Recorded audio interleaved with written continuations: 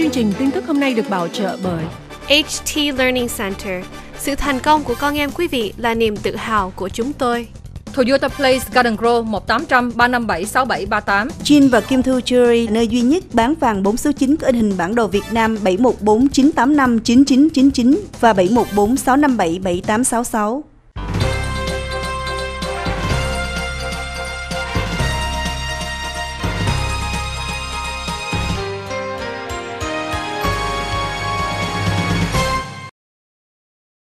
Thảo Yên Hoàng Trọng tịch trở lại với quý khán thính giả và sau gần 5 ngày trời vượt ngục sau khi giết hai cảnh sát từ tiểu bang Georgia, hai tên tù vượt ngục đã bị bắt ngày hôm nay.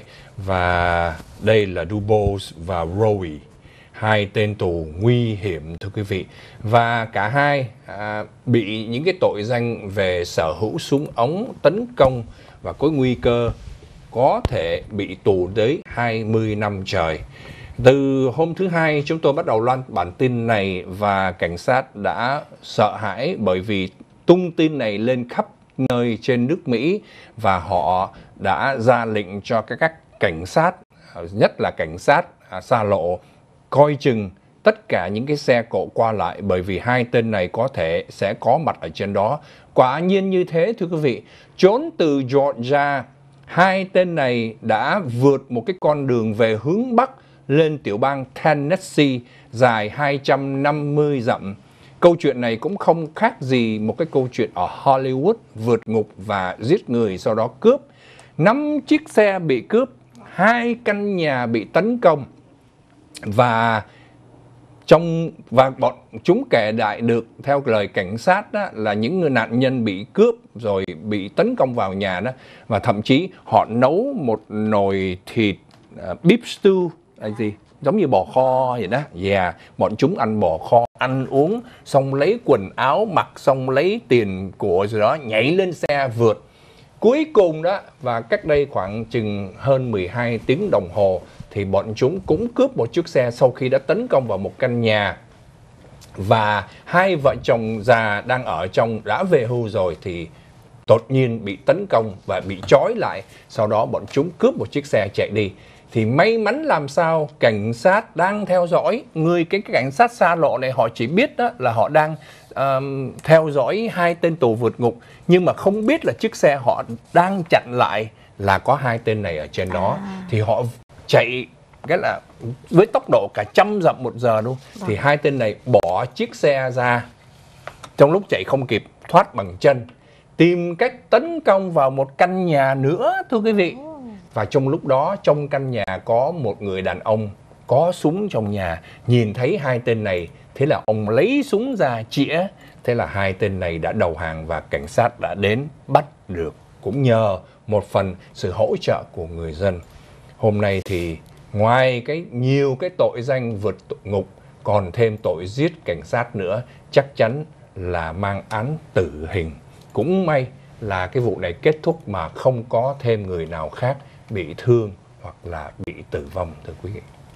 Và thưa quý khán giả, vào sáng ngày hôm nay thì à, tờ AP đã trích dẫn lời từ Bộ Quốc phòng Nga à, bởi vì tờ à, Bộ Quốc phòng Nga tuyên bố rằng quân đội của Nga có thể đã tiêu diệt được thủ lĩnh à, của à, nhóm khủng bố Hồi giáo ISIS là tên Abu Bakr al-Baghdadi.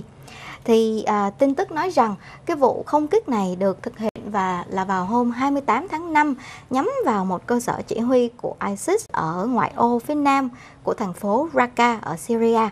Thì ngày hôm đó à, tin tức cho biết bọn ISIS đang có một cuộc họp trong đó có 30 tên thủ lĩnh phiến quân gồm có cả tên al-Baghdadi trong đó và gồm và hơn 300 tên khủng bố khác.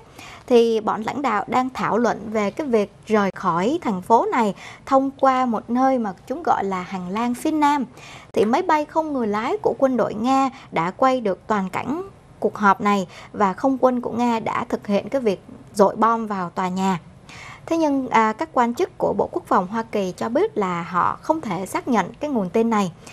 bởi vì đã không ít lần những cái tin tức về việc tiêu diệt tên uh, al-Baghdadi uh, hóa ra Yeah. toàn là bị ngộ nhận thưa quý vị thì từ lâu chính phủ Hoa Kỳ đã xem cái tên này là mục tiêu số 1 cần phải tiêu diệt trong cuộc chiến chống ISIS và cũng vì vậy mà vài năm trở lại đây à, al-Baghdadi đã không hề xuất đầu lộ diện y chỉ xuất hiện qua những cái đoạn video hoặc những cái audio message mà thôi khuyến khích người khác tự tử cũng bị tội, và đó là kết quả breaking news mới vừa nhận được ngay lúc này. Thưa quý vị, một quan tòa đã tuyên bố cô Michelle Carter, đây là Michelle Carter 20 tuổi, mang tội manslaughter.